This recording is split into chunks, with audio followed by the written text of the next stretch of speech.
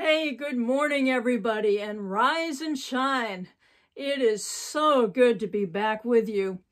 The last time you uh, heard, uh, not from me, but from PK about me, I was actually uh, on my way to the hospital uh, with chest pains.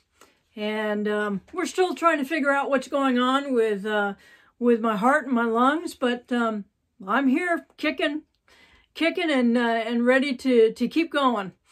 So um, I am anxious to get into the Word with you today. But before I do that, I want to thank you so much for your prayers and uh, ask you if you wouldn't continue praying. Um, that really means the world to me to know that um, that you're praying for me. So I do appreciate that. And um, I want to talk today about Paul and Silas. Now, we know that Paul Paul wrote the majority, probably two thirds of the New Testament, and never had the opportunity to meet Christ. He um, he became saved after Christ was crucified and, and risen. So what we're going to do is delve into the book of Acts today, chapter 16, and um, we're going to talk about a time that Paul and Silas ended up in prison. But they ended up in prison only after they were stripped naked and beaten oh so badly. Now, if you start, if you go back and read this, you'll see what leads up to this, starting with verse 16. Um, I'm not going to take the time to read that portion of what led up to them being in prison because I'm more concerned today about sharing with you about what happened when they were in prison. So, excuse me, they are um, they are told that they're going to be kept in prison and the jailer is threatened with death if they escape. So the jailer decides that he's going to put them in the innermost section of the prison. And to make extra sure, he's going to shackle their feet right there. Now, I'm sure that you have been in a brick building during the winter or even during the, the summer. They're great during the summer because they really hold the, the coolness of the night air. Well, think about the prison walls and then the innermost portion of the prison. Cold. Cold and damp, more than likely. They've been beaten badly. They've been stripped naked. They may or may not have been given their clothes back. And um, they were beaten with wooden rods. So they're covered in welts. They're covered with, uh, with lacerations, with cuts. And then they're in the dark. They're together, but they're in the dark. Think about that for a minute. They're cold. They're on the a cold floor. They're shackled. And they're probably thinking, this is it. I wonder how many times you and I have thought, this is it this is it. I'm going home to be with the Lord. I wasn't quite sure what was going on the, the evening that I went uh, by ambulance to the hospital, but um, I wasn't quite thinking this is it, but it was, it was scary. And you have to wonder what they were thinking. Now, if you haven't if you're not in that situation right now where you're facing something that is really, really scary, chances are that you just came through something that was terribly scary. And you've come through it by the grace of God. And if you're not in something, then you're on the other side. You're about to go through something because that's life that's how God teaches us. That's how we learn to trust in God. is when God allows certain things to happen. God doesn't cause things to happen. A lot of times we end up in these situations because of the things that we have done. We have free will. And God won't stop us from doing things that may indeed hurt us. But Paul and Silas were about God's business. They were out sharing the good news, the gospel. And here they are, they end up in prison. I wonder if Paul and Silas weren't thinking, this isn't what I signed up for. Hmm. I wonder if we're sharing God's word and, and we're laughed at or ridiculed or we're just so afraid to share God's word. The gospel. The gospel. It means the good news, the good news of Jesus Christ. So I wonder what they were thinking. Can you imagine Paul and Silas laying there? And all of a sudden, Paul starts singing. What can wash away my sin? And Silas looks over at him and goes, What are you doing? Paul says, I'm praising God. Nothing but the blood of Jesus. And Silas says, You are crazy, man. What? Here we are in prison, and you're praising God? No, I don't think so. I wonder if that's what Silas thought. I don't think so. I see both of them, both of them singing. Around midnight, verse 25. Around midnight, as Paul and Silas were praying and singing hymns to the Lord, they were both singing, What can wash away my sin? Nothing but the blood of Jesus. What can make me whole again? Nothing, nothing but the blood of Jesus. Can you imagine the other prisoners barely being able to hear them? What can wash away my sin? What's that? What are they singing? What are, what are they singing? And they're listening really hard. Nothing but the blood of Jesus. Because it's through a cement wall. And the other prisoners are listening. And by doing this, Paul and Silas are encouraging each other. They know that that jailer can hear them. How precious is the flow that makes me white as snow. Now, of course, this hymn was not written back then, so they were singing something, but they were praising and praying to God. They were encouraging everything because when it seems the worst, that's when you need to praise God. Whatever way is your way, my way is by singing. If your way is is just praying, praying out loud. Maybe it's talking to someone, telling someone about Jesus, putting on music. You don't have to sing if you can't, if you feel you can't sing. God tells us to make a joyful noise. But listening, listening and praising Jesus. And what happened?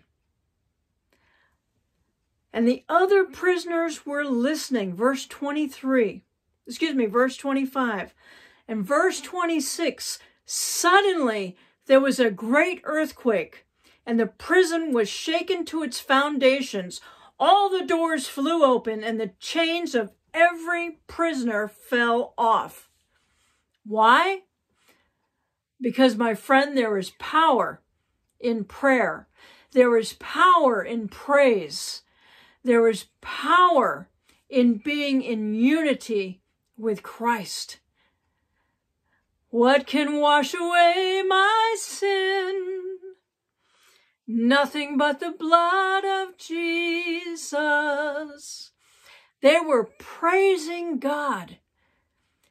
And God created an earthquake because the Holy Spirit was right there with them. God created this earthquake. The prison was shaken to its foundations and all the doors flew open and the chains of every prisoner fell off. The jailer wakened to see the doors wide open and assuming that all the prisoners had, had escaped, he drew his sword to kill himself. Because remember, he was told that if these prisoners escape, you will die. And where he was sleeping, this tells me that where he was sleeping was very, very close, if not right outside the door where Paul and Silas was. So you know that the jailer also heard Paul and Silas singing and praising. So he wakes up and he he draws his sword about to kill himself and Paul yelled to him in verse 28, "Don't do it. We are here." He's telling the, the jailer that even though they had the opportunity to get up and run away, they stayed right there because they knew that that was their mission field. That's where God wanted them right there. And what happens next? He said, trembling with fear, the jailer called for lights and ran to the dungeon and fell down before Paul and Silas. He brought them out and begged them, Sirs, what must I do to be saved? He has now firsthand witnessed the power of God, the power in prayer, the power in praise. When you're up against something, and you just don't know which way to turn, that's when you praise. You praise through prayer, you praise through song, you praise through listening to songs, you praise through listening to sermons, you praise by listening to Rise and Shine. Go back and listen to some former, some earlier ones. You praise God when you have nothing else to do, when you have nowhere else to go you praise God, and God will get you through that situation. He will do it. He's doing it for me. He did it for Paul and Silas, and he will do it for you. If you praise when you're facing that wall and the mountain just seems so tall that you can't get over it, don't do it yourself. Don't do it yourself. Praise God. Read the Word of God. Read it out loud. Turn it into a prayer. Read the Psalms. Call a friend, a Christian friend. Have them pray with you. And you will feel the earth shake underneath you and your chains that are holding you will let go. They will. They may not let go right away, but they will let go. I know God is working on me. He's teaching me. And I know that the things that are holding me down right now is me not not totally turning and praising him because there are times when I just, I feel so weak and I wonder why. That's when you need to praise God. So we're going to sing this together. Let me grab this. We're going to sing this together. We're going to, and I, I am, uh, I don't want to make the assumption that you know this song. Um, but we're going to sing, What Can Wash Away My Sin? And we're only going to do one verse because I want you to keep that verse in your head. We're going to do that verse and the chorus. What can wash away my sin? nothing but the blood of Jesus. What can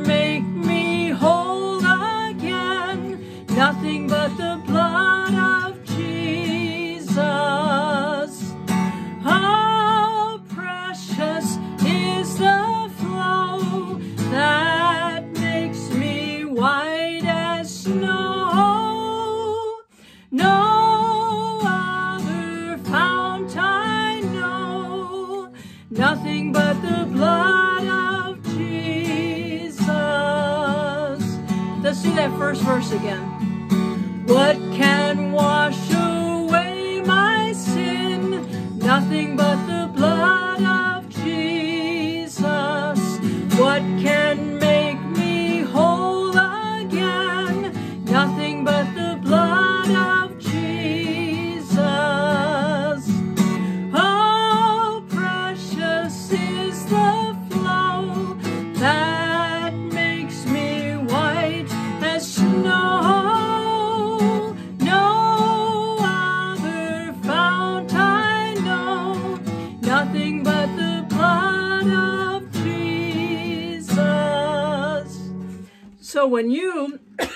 Excuse me, when you feel like you are bound by those shackles, that's when you praise God. That's when you reach out and say, Abba, Father, I need you and I need you now. I need you to help me now to calm my nerves, to help me to come through this situation. Praise God. When you're experiencing anxiousness, depression because of the situation, or maybe that is something that you experiencing that you experience regardless. Praise God. He will bring you through. He will lighten your heart and he will touch you and allow you to feel his arms just just embracing him. Praise God when you're in those situations. Father, I thank you for each and every person that's listening today. And I pray that regardless of what situation they're in, that they would stop and praise you, Father. That they would know that you are in control and what they're going through right now, you're not surprised by it. You know what they're going through and you're right there with them. Father, I thank you and I praise you for the power in your blood. I thank you for the power in your Holy Spirit. I thank you for the power in your very presence in our lives. I thank you and I praise you. In your Son's holy name I pray. Amen. Now, if you would, as Pastor likes to say, smash that like button. Let us know that you're out there so that we can be praying for you. We can be praying for you through whatever situation you're in right now. God bless you today. Have a great day. Be sure to share this so that someone else, someone you may not even know, can find a way to get through whatever is holding them shackled and bound by praising God. Thanks. Have a great day. I'll see you next time on Rise and Shine. Bye now.